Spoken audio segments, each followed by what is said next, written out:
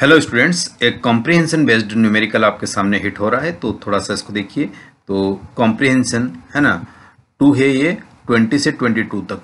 मतलब लगभग तीन क्वेश्चन इसमें पूछे गए और भी मल्टीपल क्वेश्चन बन सकते हैं, लेकिन पैराग्राफ वाले ने तीन दिया है। हम भी उसी की बात कर लेते हैं। बाकी जो भी एडिशनल न्यूमेरिकल बनेंगे, वो ऑलरेडी मैं डिस्कस करूँगा इसमें। तो a small block of mass one K G starts moving with constant velocity two metre per second तो ये वाली बात कर रहा है। किसकी? ब्लॉक की बात कर रहा है। ये वाला ब्लॉक है। A smooth long plank long plank जो जिसका मास 10 के जी यानी ये बहुत लंबा है है ना? रॉड या कुछ भी एक प्लांक हो सकता है एक, एक पटरा हो सकता है प्लाई या इस टाइप से कुछ है ना? Which is also pulled by horizontal force F और इसको हम हॉरिजेंटल फोर्स एफ़ से क्या कर रहे हैं? पुल कर रहे हैं। है ना where T in second F in newtons then the initial velocity of plank is zero यानी initial kinetic energy is also zero तो वर्क एनर्जी थ्योरम या, है ना वर्क पावर एनर्जी से भी कर सकते हैं, लेकिन अभी एनएलएम का दौर चल रहा है तो मैं उसी चीज़ को आपको प्रैक्टिस करा रहा हूँ। और उसके करस्पॉन्डिंग तीन क्वेश्चन दे रखे हैं तो एक एक करके सॉल्व करते चलिए। तो ये मैंने इसको ड्रा कर दिया है। ये वन के का ब्लॉक है और इसके ऊपर प्लैंक है। ये टेन के का प्लैंक है, ठीक है? ये टेन के का प्लैंक है। तो एज पर क्वेश्चन इसने कहा है कि द डिस्प्लेसमेंट ऑफ़ वन के ब्लॉक है ना with respect to the plank और at a instant when the both block है सेम वेलोसिटी तो सबसे पहले F equal to M A लगा देते हैं। ये तो सदाबार तरीका है। अब सारी सरफेस कैसी है? स्मूथ है। है ना? कोई किसी पर फ्रिक्शन फोर्स अप्लाई नहीं कर पा रहा है तो हम इंडिविजुअल ब्लॉक को मान लेते हैं। हाँ ये नॉर्मल रिएक्शन लगा रहा होगा ब्लॉक प्लैंक पर, लेकिन उसका वर्कडन ज़ीरो होगा। वो कोई इसके, है ना फोर्स में कंट्रीब्यूट करेगा ही नहीं तो उसको हम नेग्लेक्ट कर रहे हैं। तो यहाँ पे कितना आ जाएगा? एफ़ इक्वल टू तो एफ़ कितना लगा है? टेन टी ऑलरेडी कहा गया है क्वेश्चन में, ये टेन टी मास में है ना, अभी जो बात कर रहा हूँ फॉर प्लैंक बात कर रहा हूँ। किसके लिए बात कर रहा हूँ? फॉर प्लैंक बात कर रहा हूँ। तो प्लैंक का मास टेन आ गया ए तो यहाँ से ए की वैल्यू मेरे पास आ जाती है नथिंग बट टी ये इक्वेशन नंबर वन आ चुकी है है ना? या अभी इसको इक्वेशन नंबर और इसी को अगर मैं, है ना इंटीग्रेट करता हूँ तो या इसको इसको किस फॉर्मेट में लिख सकते हैं? D V by D T into T और यहीं से आप क्या लिखेंगे? डी वी इंटीग्रेशन और ये आ जाएगा t into D T again integration तो यहाँ से v मुझे मिल रही कितना? t इंटू डी टी तो इसका integration T square by two ये इक्वेशन नंबर टू मैंने नाम दे दिया, है ना? क्योंकि इनिशियल वेलोसिटी ज़ीरो है तो अल्टीमेटली मैंने लिमिट लगाना उचित समझा ही नहीं। वहीं से ये चीज़ आ गई हालाँकि आपको लिमिट वाला केस भी कंसिडर कर जाना चाहिए।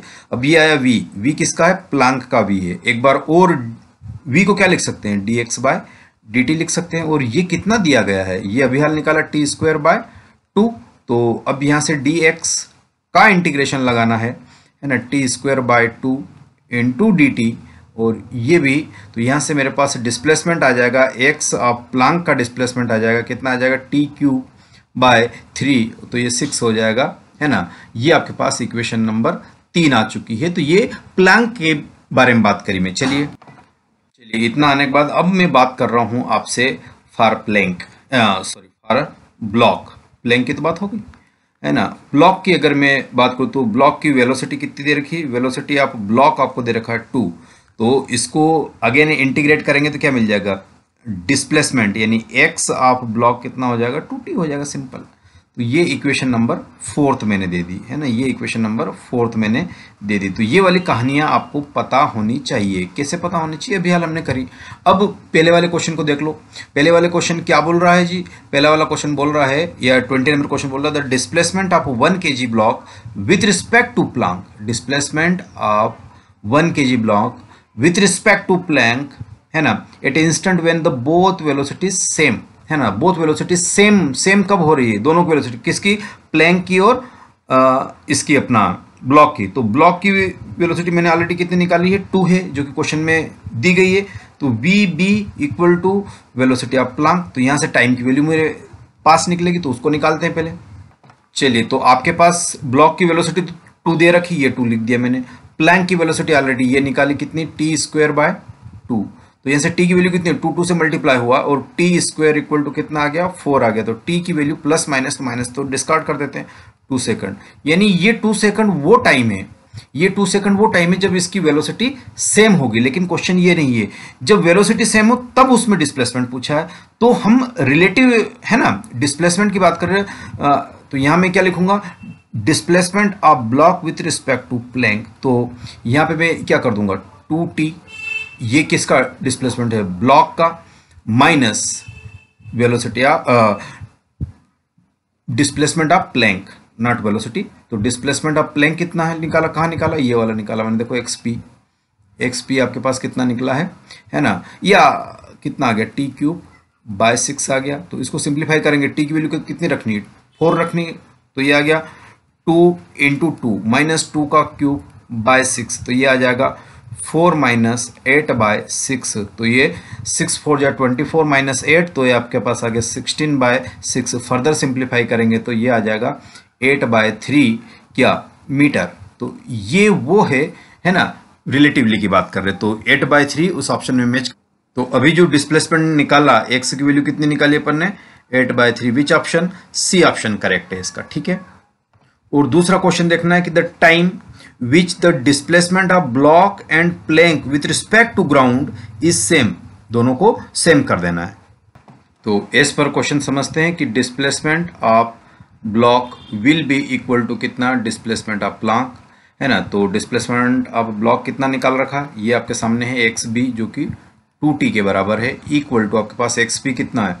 एक्स पी ये वाला निकाला आपने। है ना T cube by six T cube by six तो है ना, अब यहाँ यहाँ कहा भी क्वेश्चन में बड़ा इंपॉर्टेंट बात है कि T not equal to zero पे बात करनी है आपको, है ना तो जब ऐसा किया गया तो इसके दो पैरामीटर आएँगे कौन कौन से, एक तो T minus T square by six equal to zero अगर इसको लेंगे तो एक तो टी की वैल्यू ज़ीरो आ जाएगी है ना तो ये तो कंसिडर ही नहीं करना हमको, और यहाँ से आ जाएगा T square by six equal to आ गया टू तो यहाँ से टी स्क्वायर की वैल्यू कितनी आ गई? ट्वेल्व आ गई, है ना? और टी की वैल्यू कितनी आ जाएगी? रूट अंडर ट्वेल्व आ जाएगी। और रूट अंडर ट्वेल्व को क्या लिख सकते हैं आप? सिंपली तो रूट अंडर ट्वेल्व को यहाँ मैं सिंप्लीफाई करता हूँ और इसको मैं लिख सकता हूँ टू रूट थ्री सेकेंड तो ये वो टाइम होगा जब two root three second which option आपको दिख रहा है? टू रूट थ्री सेकंड तो इसका बी ऑप्शन आ गया। अब अपन करते हैं ट्वेंटी टू वाले क्वेश्चन अब फाइनली क्वेश्चन पढ़ते हैं तो आपके पास ये क्या कहा गया कि relative velocity of the plank with respect to ground relative velocity आपको फाइंड करनी है।